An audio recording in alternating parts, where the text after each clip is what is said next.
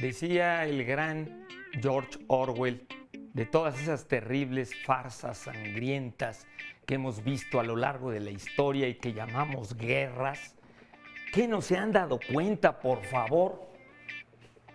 Que nunca ganan ninguno de los beligerantes, todos pierden, unos más que otros. Los únicos que ganan son los traficantes de armas, los vendedores de armas. Los que siguen haciendo la guerra están confundidos, no comprenden que para vivir en paz hay que ponerse en los zapatos del otro, hay que ser compasivos y tratar de comprenderlos. Decía también Thomas Mann, las guerras las hacen los cobardes que no quieren enfrentarse al trabajo de ponerse de acuerdo durante la paz. La única guerra que los altos valores humanos justifican es la guerra interior por ponernos de acuerdo con nosotros mismos. Soy Germán Ortega Chávez, ¿cómo les va? Muy buenas noches. Esta es la dichosa palabra.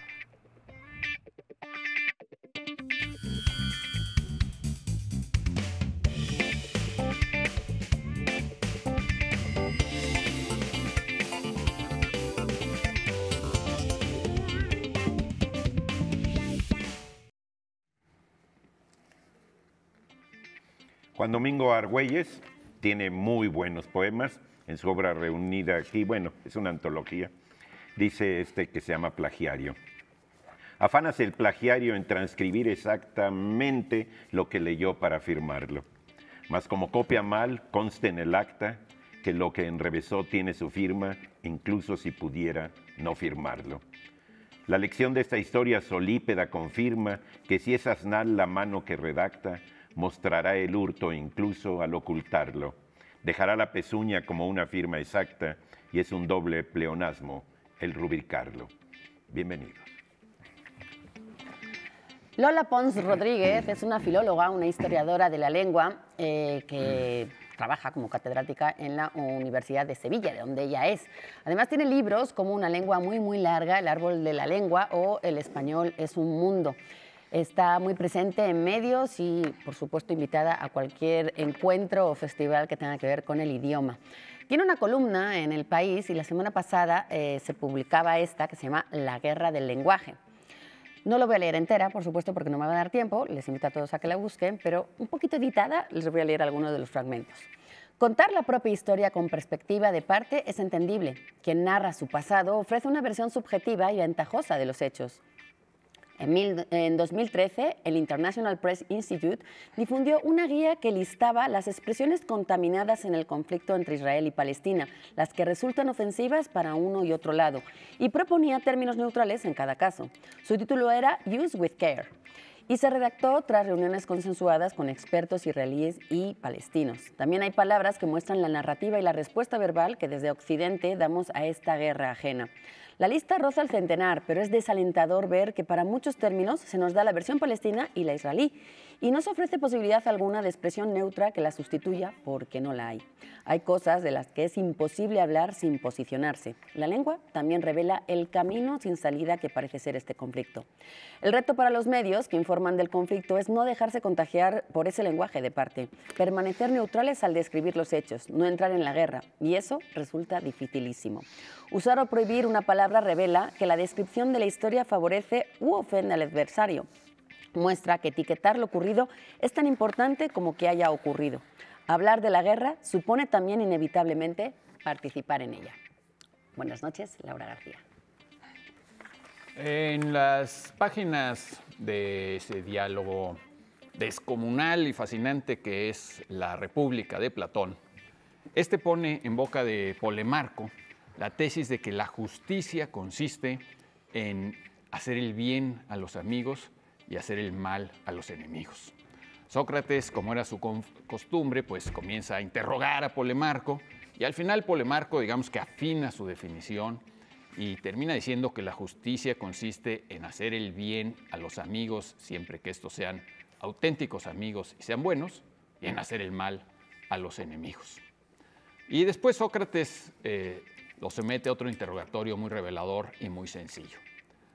Le dice lo siguiente a Polemarco. Si perjudicas a un caballo, este se volverá un mejor o un peor caballo. Polemarco le dice, no, pues por supuesto, un peor caballo.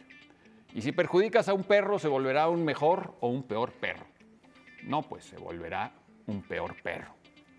Bien, dice Sócrates, si perjudicas a una persona, esta seguramente se volverá una peor persona. Bienvenidos a la dichosa palabra. Muy bien. Muy bien, muy bien. Bueno. Bueno, pues este, como ustedes saben, tenemos preguntas de redes eh, eh, para todos ustedes, para que nos vayan contestando. Ya muchos han empezado a contestar. Menciona una o más palabras cuya sonoridad te parezca chusca. Chusca.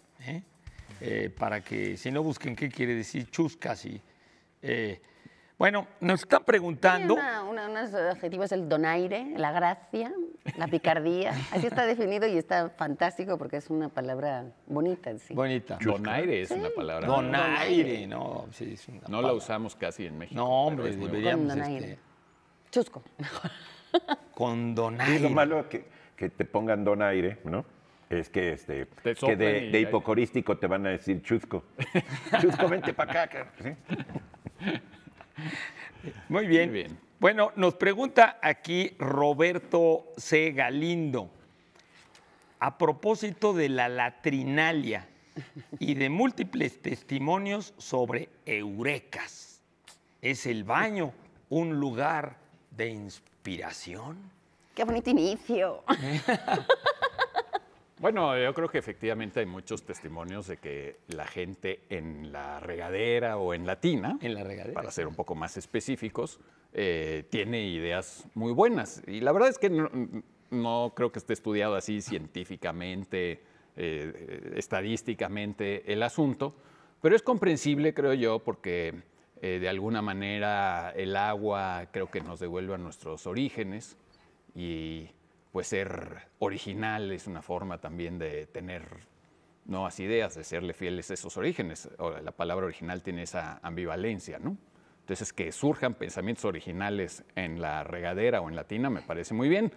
De, de la palabra eureka, que significa lo encontré, ya hemos hablado aquí muchas veces, sobre todo la anécdota de nuestro amigo Arquímedes. Pero la otra palabra, esa sí me parece una novedad. Yo, de hecho, no la conocí hasta que llegó la pregunta. Eh, si bien la ventaja de las raíces latinas y las raíces griegas es que aunque uno no conozca, eh, digamos, eh, la ciencia a la que se refieren o el tipo de estudio al que se refieren, o el, o- o- o el tipo de animal del que hablan o lo que sea, pues simplemente las raíces te dan una, una buena... Una buena Pista. ¿no? Orientación. Una orientación. Y efectivamente, si vas y la buscas, pues vas a encontrar que es un término que un investigador inventó, creo que a mediados del siglo XIX, eh, etcétera. Eh, pero yo nunca la he visto así en un texto en español escrita lo, lo de la latrinalia. Eh, tenemos obviamente un clásico en México de la latrinalia y de otro tipo de grafitis, que es eh, la picardía mexicana de Armando Jiménez. y Jiménez. más tarde me gustaría citar un par de ejemplos eh, pertinentes. Pero sí, sí creo que es importante que hagamos, antes que nada, esa diferencia entre el baño y el baño. Es decir, que hay de baños a baños, ¿no? Porque la hicieron los propios romanos, que son, por cierto, el pueblo cuyos baños son, o la civilización cuyos baños son más eh, universalmente reconocidos. Era una civilización que disfrutaba muchísimo de los baños. Dice en algún libro que cuando un romano se encontraba con otro romano al que no conocía, una manera de hacer plática, aparte del clima, que es un tema universal, era ¿a qué baño vas? ¿En qué baño, en qué baño te bañas? ¿no? Los romanos eran sumamente aficionados a los baños. Eh, en Bath, cerca de Londres, hay un baño Sobrevive romano un baño. eh, maravillosamente conservado, con una museografía increíble. Ojalá que los que puedan tengan oportunidad de visitarlo allá en Bath. eh, y es, es realmente muy entretenido. Y los, los romanos se bañaban muchísimo. Y eh, cuando era en la, en la época de la antigua república tenía una palabra que era la palabra la- eh, lavatrina.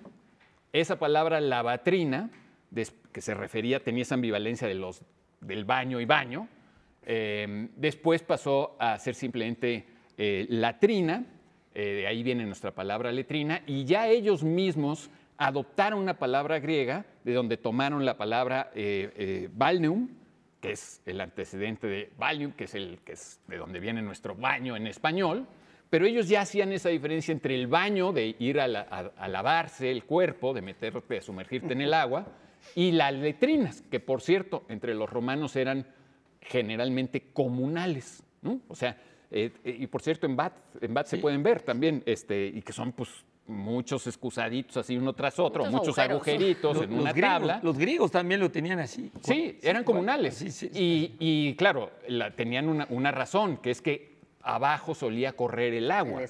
Entonces, pues realmente no era un cochinero porque pues, el agua pasaba corriendo y más o menos se llevaba las cosas. Pero lo interesante de, esta civil- de, esta- de los griegos y los romanos que se bañaban y que les gustaba estar limpios, es que cuando empieza a decaer el imperio romano, eh, eh, y la civilización romana, también empiezan a decaer los baños romanos y la gente empieza a ir menos al baño. Y luego con el cristianismo, cuando ya los cristianismos realmente dominan Europa, los cristianos dominan Europa, la limpieza estaba mal vista. Y la mugre y la suciedad era casi un símbolo de santidad a veces, de, beatitud, de, de a esta persona no le importa conservar su cuerpo porque solo está pensando en el más allá y en la salvación Los de su reyes alma. tienen fama de haber sido bastante No, no, a cochinos. ver, desde el medievo es un cochinero Europa, un absoluto cochinero que terminó hace prácticamente nada. Tan prácticamente nada que, eh, que a mediados de los cin- 50, hace menos de 70 años, solo una de cada 10 familias en Francia Tenía. tenía, un baño, Propio, en sí. cualquiera de los dos sentidos, o letrina o baño. Yo me acuerdo de haber estado en Berlín, donde eh, los departamentos ya tenían baño, ya les habían adaptado un baño interior, pero podías ver todavía que entre las escaleras en los pisos estaban los baños que usaba la gente. Es decir, eh, lo- el, el tener baño en tu casa era una locura. Por cierto, de ahí viene nuestra palabra retrete. Retrete viene de retirado, del provenzal o El del catalán retirado, lo que estaba lejos de la casa. Es decir, se, se hacía afuera de tu casa. En tu casa no había baños. Todavía hay muchos. eh, yo he ido a, a Berlín y el, el baño de la casa está en la escalera. O sea, tienes que salir a la Sí, escalera sí, y sí, bajar para. Bueno, frente a la estación de San Páncreas en Londres, todavía a mediados del siglo XIX, hicieron un hotel que era de super lujo, el Midland Hotel, que eh, eh, aspiraba a ser el mejor hotel del mundo y tenía, no me acuerdo si 200 o 600 o 400 habitaciones, muchísimas, y tenía solo seis baños. Porque los caballeros, la gente elegante, los aristócratas, se jactaban de que los baños eran para los trabajadores, para la gente de abajo. Los aristócratas hacían en un recipiente y pues la- los sirvientes se llevaban y traían aquellito de un lado para el otro. Antes de terminar, Pero muy son rápidamente. inspiradores. Eh, no creo que las letrinas sean inspiradoras, los baños sí.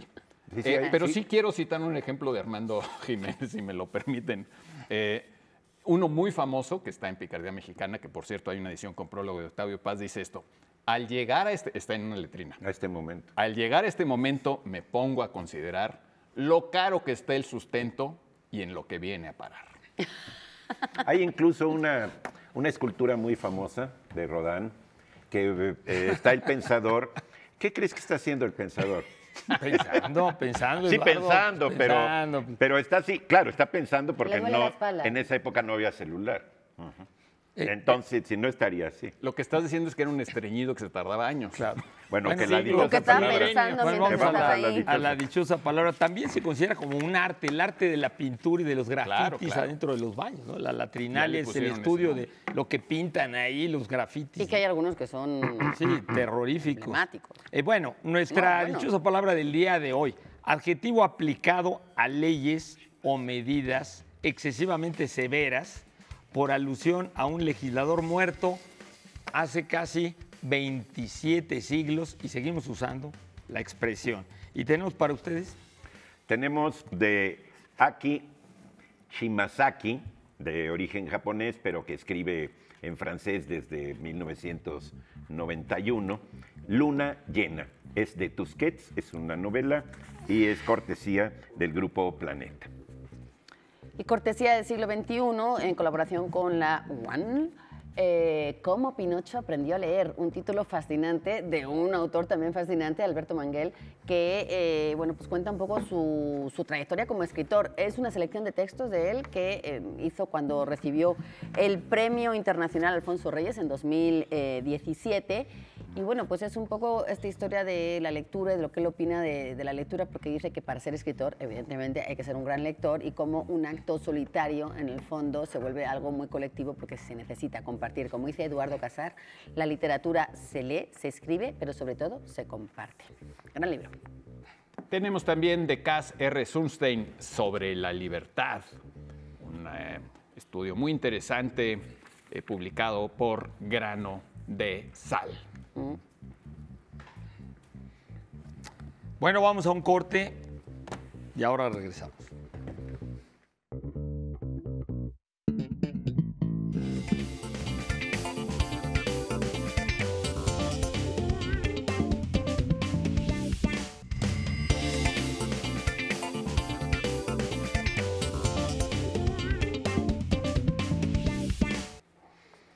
Bueno, pues ya regresamos, fuimos un rato al baño, poco cortito, pero pues ya, bueno, etcétera.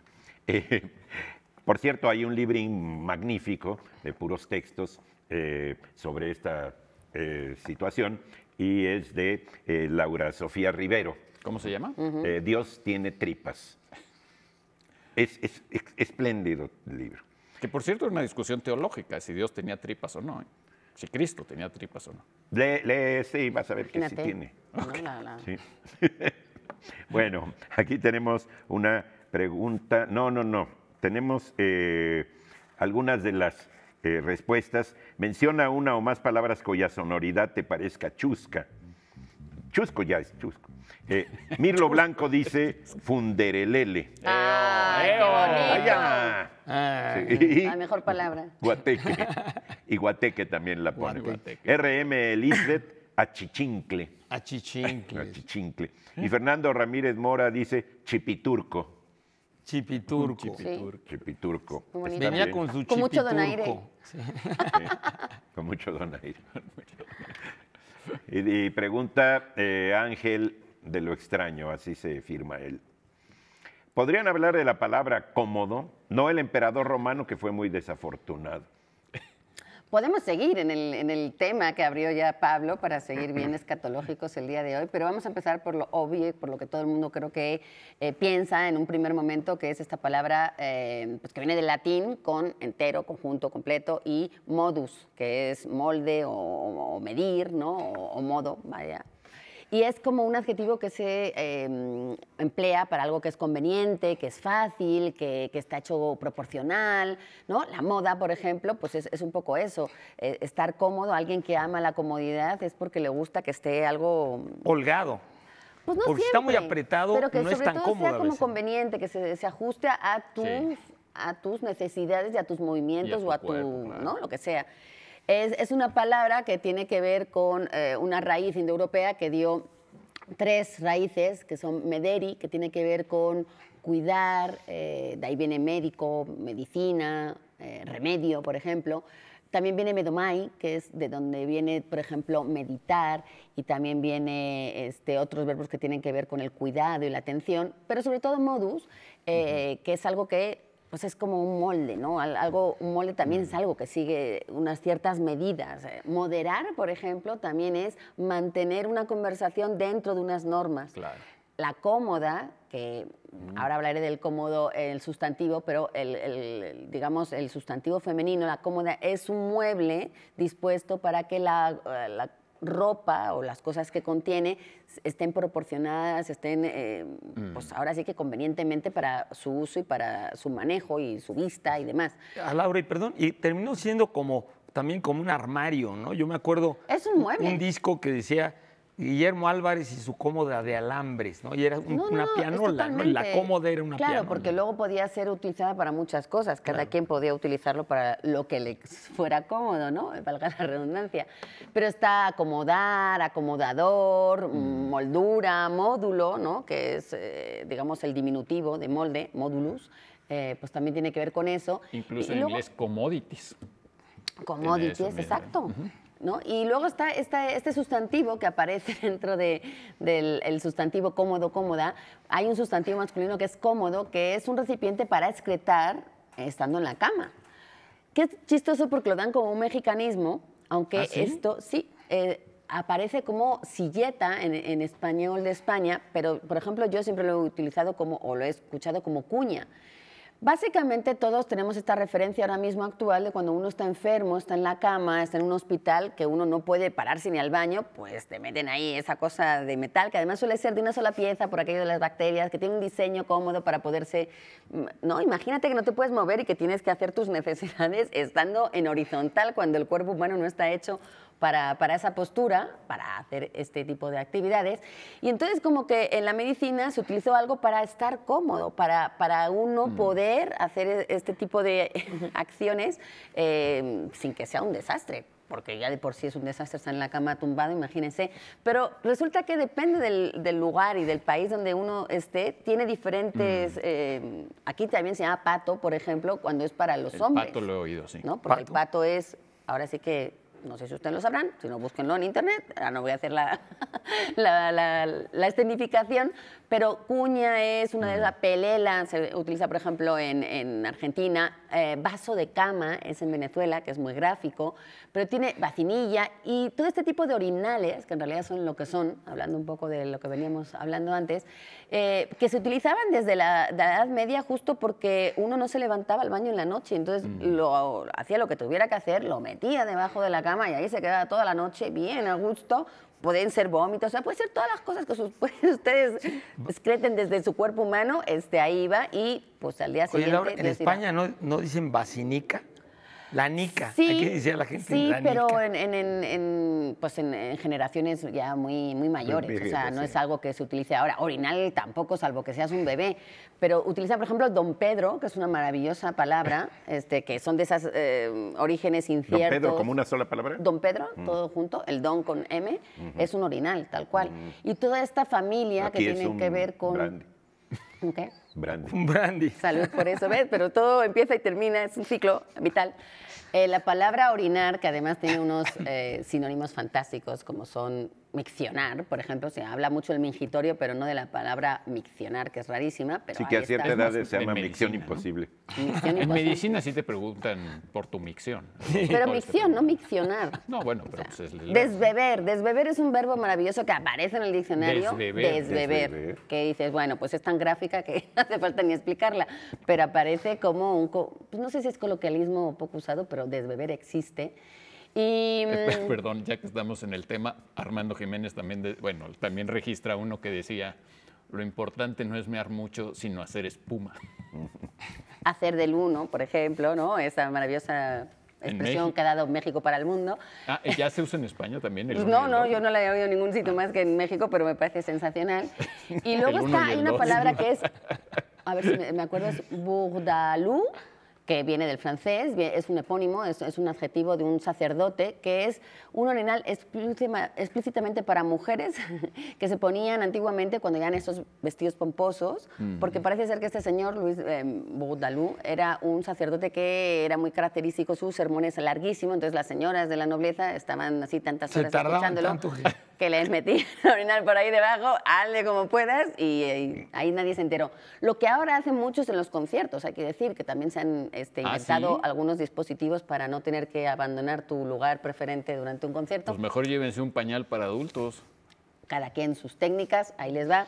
Y luego hay que decir que hay un dragón de Cómodo, que, o Komodo, eh, que son unas islas en Indonesia. Pero ahí es con K, eh, ¿no? Con K. Con K. Cómodo. Dragón de Komodo. Que, que es un lagarto, es el lagarto más, más, grande del mundo. Ahora volviendo, o más bien terminando con los comodos que hay en el mundo, pues está este emperador que pasó a la historia eh, por ser el último de una dinastía de, de- de emperadores, pero es uno de los más odiados, junto con Nerón y, y Calígula puede ser uno de los más eh, Heliogábalo. Heliogábalo. Durante años se prohibieron sus estatuas y todas alusiones a él, luego ya se, se restituyó un poco, pero curiosamente fue un emperador que eh, gobernó en, en el Imperio Romano durante el siglo II, eh, sucediendo a, a Marco Aurelio, pero que él, bueno, todos ubicamos la película del gladiador, bueno, pues es él.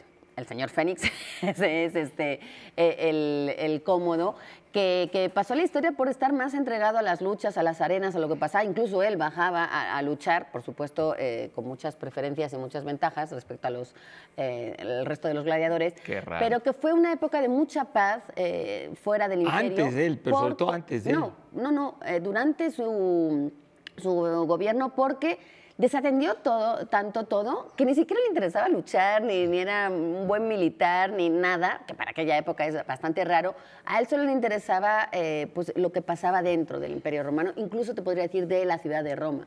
Entonces es un, en un emperador que pasó a la historia como alguien muy cruel, muy tirano, muy déspota, y que durante años, y la historia creo que lo, lo, trata con bastante justicia, hablando de él como alguien muy malo. No sé de dónde viene el, el nombre de cómodo y que tenga que ver con modus en ese, en ese caso, si era alguien que regía las normas, mm, desconozco si tiene algo que ver con el adjetivo del que estamos hablando, pero no conozco más cómodos. Nombre no es Yo, destino, yo ¿no? bueno, ahorita que, que estás mencionando, el- los arqueólogos también comentan que, digo, hay descripciones de la famosísima y muy debatida y que luego desapareció silla gestatoria, que se supone que era para probar que los papas, después de que se sospechaba que había habido una papisa, que los papas eh, eran, eran hombres, ¿no? Eran hombres, no, era, no se fuera a colar otra mujer, ¿no? Entonces, en la Edad Media eh, se creía que era un mito, pero, pero hay descripciones de, de hombres del Renacimiento que vieron la silla, ¿no? que vieron la silla, que era una silla de, de mármol, tallada y que tenía patas de, de león, etcétera, etcétera, y que en efecto tenía una perforación, tenía una perforación y ahí Pero se ver la silla no es garantía de que realmente se haya usado para eso. Ah, no, no. es- es lo- y los arqueólogos dicen que realmente la silla, aunque todo el mundo dice, ah, esa es la prueba de que hubo una papisa y que no sé qué, y que no, realmente no era probablemente la silla de los papas, sino simplemente era eso, una letrina, un cómodo. Sí. Una. Era un cómodo. Sí, sí, sí. Pero ese no era para hacerlo en horizontal, en una cama. No, no, no, era estado sentado. no, no, era, era un... un- exacto, Sí, pero el cómodo sentarte, sí ¿no? es este, Sí, sí, sí, sí, Y que le- en horizontal. simplemente tenía un hoyo, pero era de mármol muy Sí. elegante. Voy a decir la dichosa definición y eh, ustedes busquen la dichosa palabra. Adjetivo aplicado a leyes o medidas excesivamente severas por alusión a un legislador muerto hace casi 27 siglos. Tenemos para No, ustedes. no, no, voy yo antes porque Ay, tengo que dar esta maravilla, Pablo, porque después, del, después del tema que hemos tratado, me parece que hablar de esto es como anticlimático, pero miren nada más lo que tengo de Liniers, el gran Liniers que ha estado en México esta semana en el Teatro de la Ciudad, ahí presentándose con Kevin Johansen. Lo que hay antes de que haya algo, es un uno de terror, es un libro de sexto piso, un libro chiquitín, maravilloso para todas las edades, porque lo que habla es de los miedos nocturnos y de lo que pasa cuando uno apaga la, la luz, se viene la noche y aparecen todos esos monstruos que caen del techo. Bueno, pues para el que siga teniendo miedos nocturnos o en cualquier otro lugar oscuro, eh, aquí una muy buena eh, interpretación del gran Liniers que siempre tiene cosas fantásticas. Aquí todos los monstruos que hay en la noche. Bien. Sí, ya, ya quiero super checar porque estoy muy, muy, muy perdido, perdónenme. Eh, en el 2020, hace tres años, en medio de la pandemia, Víctor García Salas, un maestro de filosofía de la UNAM, eh, le escri- eh, él y sus alumnos se pusieron a leer eh, Nobleza, eh, ¿cómo se llama el libro, de- el primer libro de Rob Riemann? Eh, Nobleza de espíritu, perdónenme. Ajá. Y em- le escribieron a Rob Riemann y de eso, de, esa, de ese contacto entre Rob Riemann y estos alumnos de filosofía de la UNAM, eh, eh, surge este libro, El arte de ser humanos, o al menos la primera parte del libro, que es la que yo ya leí, es justamente la carta que Rob Riemann le escribe a estos estudiantes mexicanos. El arte de ser humano son cuatro estudios de este gran autor holandés, eh, autor de Nobleza de Espíritu y de otros libros muy interesantes, Rob Riemann, ahora publicado por Taurus, un librazo muy recomendable. El arte de ser humanos. Edgar Valencia nos trae este libro Fiesta, Duelo y Ascetismo, Cultura Simbólica en la Nueva España y el México Independiente.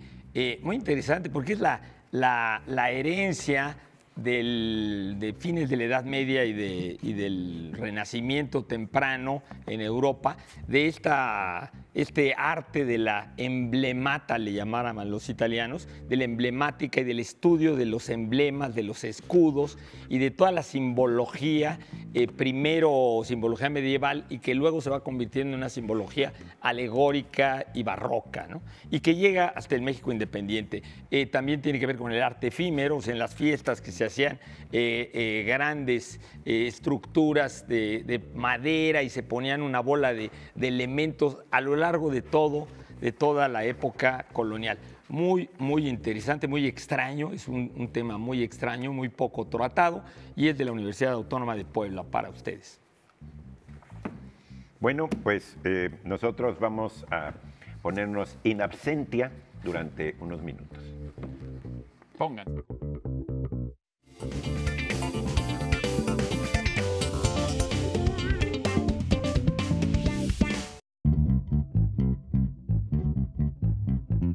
Hola, soy Bef, soy novelista gráfico y no gráfico. Hoy les voy a leer un fragmento de mi último libro, la novela gráfica Tres Deseos, sobre una niña que a través de una app pide tres deseos y todo le sale mal.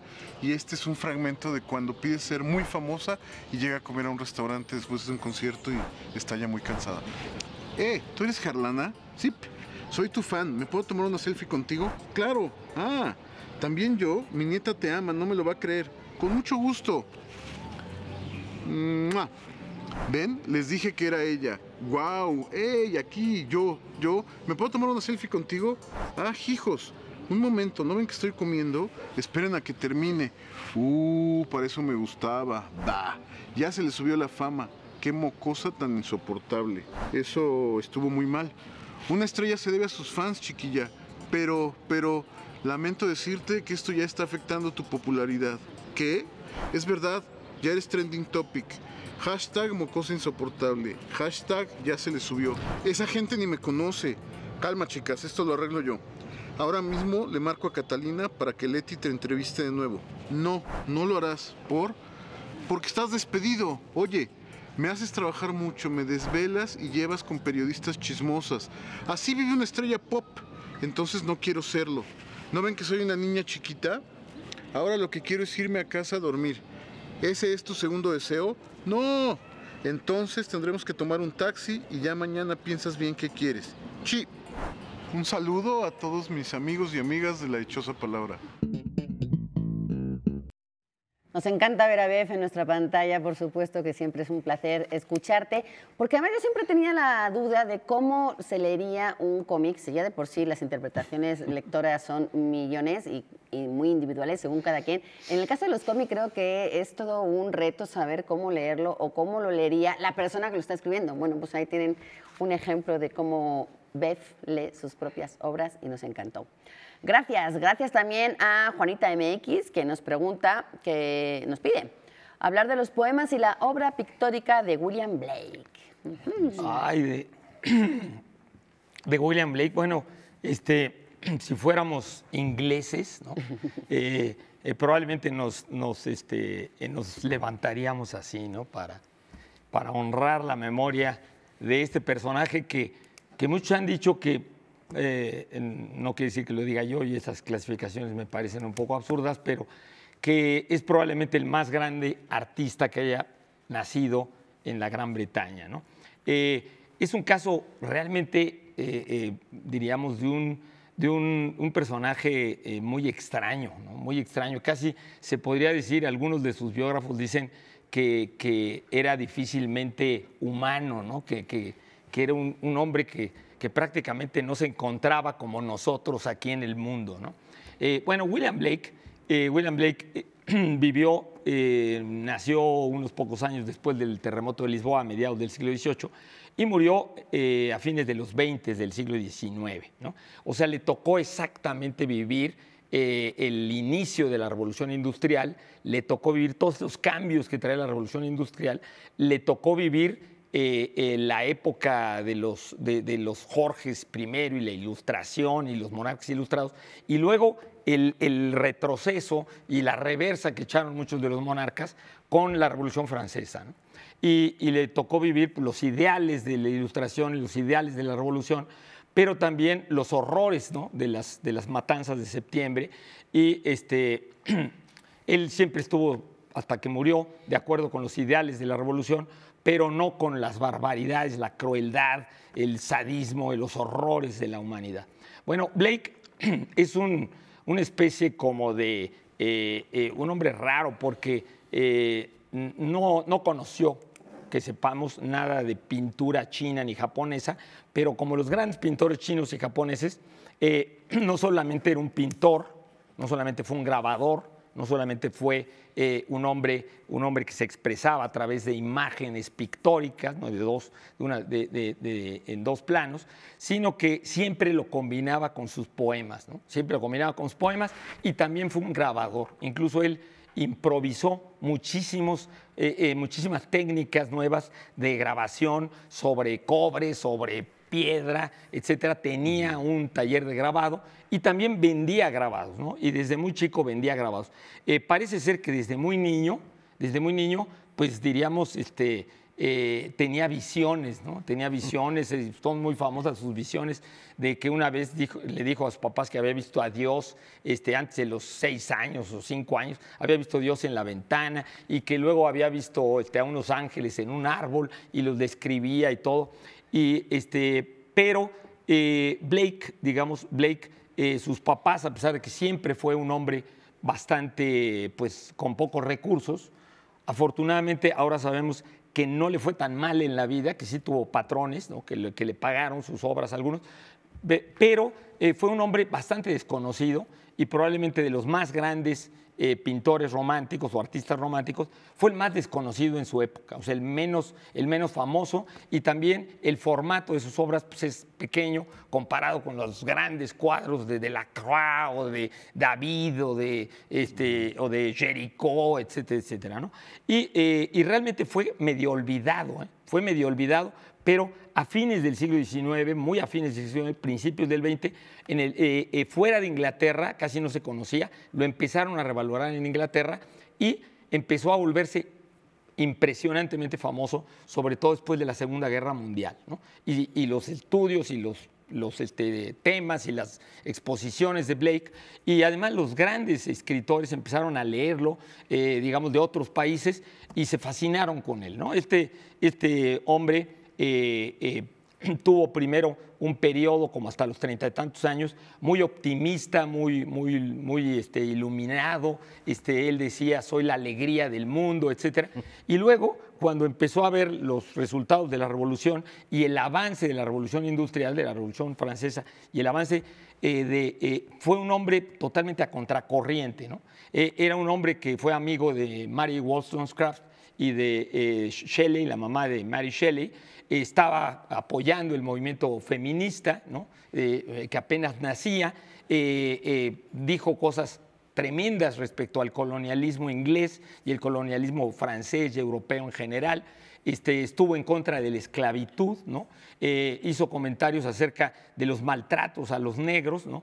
Fue un libertario, y también, diríamos, en su poesía y en su arte, nunca se inspiró en la realidad sensorial. Decía que los sentidos nos bloqueaban, que la verdadera inspiración viene de dentro, ¿no? que hay que ver lo que uno tiene adentro. Y realmente Blake, eh, y por eso probablemente yo creo que eh, la gente conoce frases y, y- y- y expresiones de Blake, ¿no? y algunos pequeños poemas, pero creo que muy poca gente se mete ¿no? realmente en entender por qué él creó una especie como de universo mitológico, ¿no? Eh, fue, eh, de hecho, en alguna ocasión yo escuché que Tolkien, el que hizo El Señor de los Anillos, ¿no?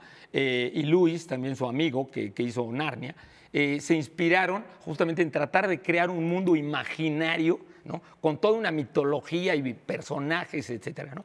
Pero el de Blake es, pues, es, un- es una cosa tremenda, ¿no? Aunque él ilustró ilustró eh, las obras de Dante, ilustró también a Shakespeare, ilustró este, también El Paraíso Perdido de Milton, eh, ilustró la Biblia. La gente cree que, que nada más lo ilustró, pero realmente él reinterpretaba todo. O sea, si uno ve los poemas o los grabados de Blake acerca de la Biblia, pues dices, es otra cosa, ¿no? Esto no es el libro de Job, ¿no? Este, este no es este personaje. Fue muy influido por la, el sentido pictórico lineal, ¿no? Él estaba en contra, diríamos, de lo que después sería con los impresionistas, el manejo de color. Él lo que le gustaba la linealidad, la linealidad, y le gustaba muchísimo este, Miguel Ángel, eh, se inspiró muchísimo en Tibaldi, Peregrino Tibaldi, un, un barroco terrorífico, ¿no? Pero este, sus poemas están llenos de símbolos, están llenos, llenos de símbolos y personajes simbólicos. yo- Eh, su, su fama como poeta y como pintor no siempre corrieron paralelas, ¿no? No, Algunos no. lo aprecian, creo que como Sí, poeta yo, fue yo- más. yo no conozco, Más como poeta, yo no conozco pues- la pintura. eh, a, veces, a veces algo lo ilustran con, con dibujos. Eh, hay un libro de Adrián Muñoz sobre, sobre Blake que es muy bueno.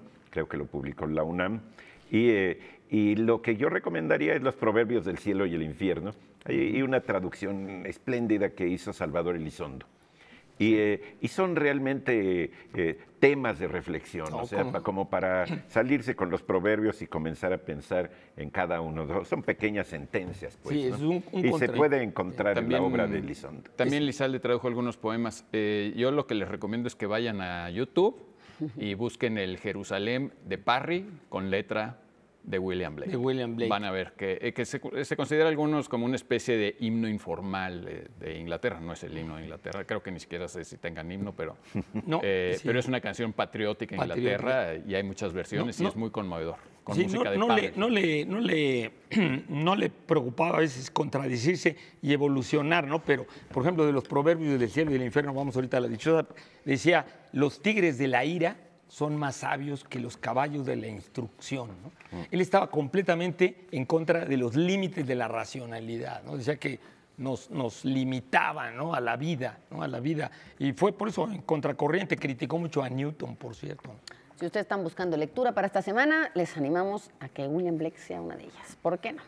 Dichosa palabra, adjetivo aplicado a leyes o medidas excesivamente severas, por alusión a un legislador muerto hace casi 27 siglos.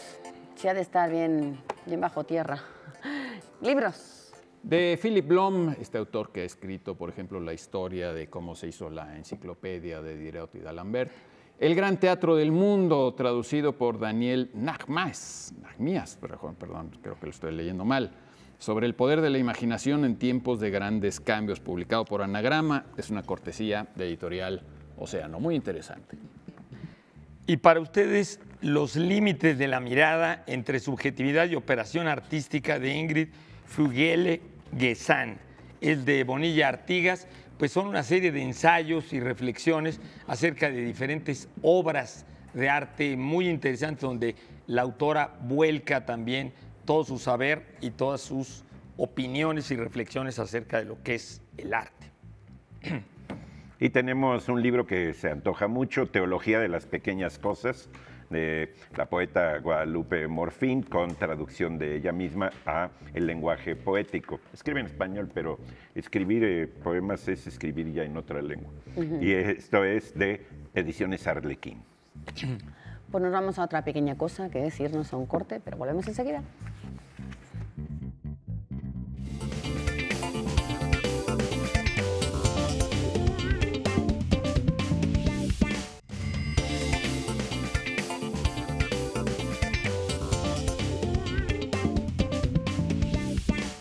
Continuamos aquí muy cómodamente instalados en la dichosa palabra y tenemos más preguntas de nuestro culto público, como esta que nos formula Carlos Torres Tinajero. Me encantaría que hablaran de la generación del medio siglo en la literatura mexicana. Sí, Carlos, pero ¿de cuál siglo? De Sí, porque si es del 19 son los neoclásicos y los románticos, pero si es del 20, se le llama así generación del medio siglo al grupo de escritores que comienzan a publicar en los años 50, como hasta los 70, ¿no? Eh, que, que crean realmente un grupo muy hegemónico, pues, eh, eh, muy cosmopolita, muy crítico. Que son escritores como Inés Arredondo, eh, Juan Vicente Melo, Juan García Ponce, Ponce. eh, Emanuel Carballo. Es en ese sentido un grupo, eh, siempre que se habla de generaciones, se habla de, de ciertas afinidades selectivas en el orden intelectual y también de, de tus contemporáneos, digamos. Mi- yo, mi generación eh, apareció en una colección que se llama Los, de, los 50, porque nacimos en los 50. Estos no, ellos comenzaron a escribir en los 50.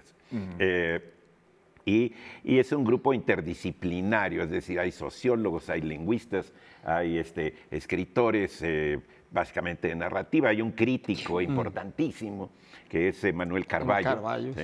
Eh, que, que, bueno, que eh, re- realmente sus entrevistas de Carballo son la gran cosa. Inés Arredondo, bueno, es una escritora que tiene unas pequeñas obras maestras en, Sí, en los cuentos de Río Subterráneo. Subterráneo. Eh, eh, por lo general, no, no este, básicamente se trata ahí de, de narradores, ¿no? Eh, y que tuvieron también algo muy importante y es el hecho de que estuvieron eh, surgiendo y desarrollándose a partir de lo que era, eh, pues en esa época, la Secretaría de Cultura en términos este, prácticos, que es la UNAM, la, la Universidad Nacional, eh, con su coordinación de difusión cultural. eh, eh, bueno, tenía recintos extramuros, es decir, fuera de la de, de Ciudad Universitaria, como la Casa del Lago, por ejemplo. Y la Casa del Lago fue muy importante. importante. Y la revista de la universidad. Crearon, por lo general, las generaciones de escritores se, se aglutinan en torno a revistas como la revista Contemporáneos para los contemporáneos de los que hablamos la otra vez. Y aquí había la revista mexicana de literatura, el suplemento cultural de novedades y la revista de la universidad. Muy Que sigue sobreviviendo, ahorita la dirige Guadalupe Netel y tiene una, una dinámica ma- magnífica, la, nueva ¿no? época que son números monográficos, es decir, un número monográfico es cuando un solo mono hace la gráfica, un poquito como Blake. No, no es cierto. Incluso la, la revista de la universidad actual mete un cómic ahí eh, siempre en medio. ¿sí? Eh, Y hay unas joyas, unas joyas. Sí, y, y- ciertamente hay ciertas afinidades en la manera de escribir. Este que acabamos de nombrar, o al menos yo lo nombré, Salvador Elizondo, es, es bueno, es un escritor este, rarísimo, si uno quiere tener una experiencia de lectura rarísima y, tiene insomnio, lo que tiene que leer es este, a, a- a- a Farabeu de Salvador Sí, Elizondo. Es una, es una novela que se va contradiciendo completamente todo el tiempo. Y curiosamente un escritor que pertenece a la generación del medio siglo, pero que no tiene casi nada que ver más que el hecho de que escribe muy bien, es Ibargüengoite. Sí, Ibargüengoite es como, no sé, como un rayo de luz en la penumbra de los temas que por lo general tocan los escritores más- del es Que los otros siglo. eran todos muy intelectuales, ¿no? ¿Mande? Todos los otros eran como muy intelectuales, ¿no? Y Ibargüengoitia, pues. Era más juguetón, más juguetón. Sí, bueno, pero era un cronista ligero. extraordinario. Sí. Y Barguengoitia es un autor que yo, yo lo he este, tratado de estudiar y, eh, y no le hallo cómo puede hacer novelas que sean tan amenas Sí, en cualquier bueno. tema. Sí. Ah, Tiene una novela de la revolución, otra de la independencia, otras de crímenes, y en todas se ríe uno. Y- Pero Sí, se ríe sea lo realmente. que- sí, sí, sí. Tú- tú- un- una manera muy, muy ligera de, de, de- Es de como, tomar- es como lo que también, pasa ¿no? con, Muy- con Pellicer. Pellicer siempre se dice que es del grupo de contemporáneos, porque era cuate de ellos, etcétera, y tenían este, compartían a veces algunos sobrinos comunes. Y este, pero eh, Pellicer es la luminosidad y los colores, es una gama cromática tropical, este, Sí. con colores intensos, y en cambio Villaurrutia es, este, es frío, es, de, es onírico. eh, O eh, Gorostiza, de quien hablabas. Gorostiza, de quien se habló la otra vez, ¿no? Sí, sí, sí. Y eso pasa pues con las generaciones. Hay unos que son de esa generación, pero que no tienen realmente afinidades en términos estilísticos. Sí, García Ponce también es de esa generación. Sí, García Sí, Ponce. que hace novelas este, muy psicológicas. Sí, muy, muy psicológica. Los que tengan gatos, lean El gato. O el libro, los Sí, que tengan gato. libros.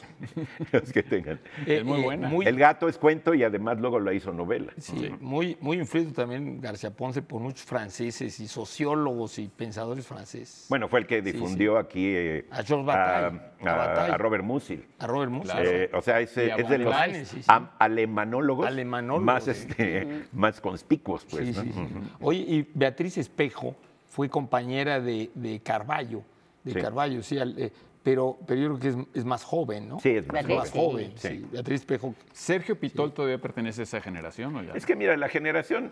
eh, Ya está metido en otra.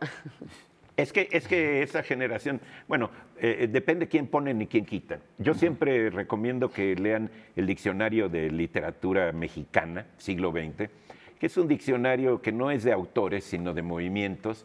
La novela gay, la novela de la revolución, la novela indigenista, este, eh, eh, la editorial siglo XXI, el periódico Tal, la polémica entre Monsiváis y Paz. La hizo Armando Pereira coordinando, junto con Claudia Albarrán, eh, Juan Antonio Rosado y Angélica Tornero. Y es realmente un libro indispensable para, Para para, entender orientarte. el medio literario Sí, mexicano. para orientarte. Y se puede conseguir.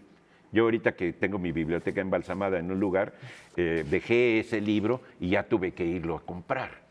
Ya que vuelva a recuperar el mío, vengo y se los reparto a ustedes el mío. Ándale, Sí. ándale. Eh, la- eh, arrancamos las hojas, unas para Pablo, otras para Laura, otras y para la producción también va a haber también algunos. Este, Qué, qué generosidad. Dices ¿Mande? que eran sobre todo narradores. También estaban eh, Sego- Tomás Segovia, por ejemplo, que también fue narrador. O José Emilio Pacheco, que también fue narrador, pero que destacaron quizá más en la Ah, poesía. bueno, también alguien ahí de, es, es de Carlos Fuentes.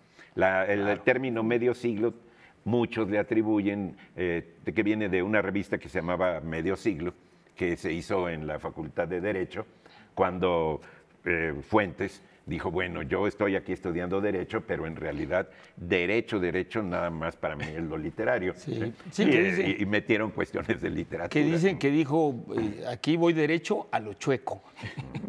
que Fuentes, bueno, es el más famoso en Sí. términos. Ah, de- Sí. Sí, se destacó Fuentes y Pitol tenían un maestro ahí en la Facultad de Derecho, ahorita se me va el nombre, muy famoso porque les costaba trabajo la carrera de Derecho y fueron a decirle, maestro, no podemos. Y, y el maestro dijo, no, no se preocupen, ¿quieren aprender Derecho Mercantil? Lean a Balzac.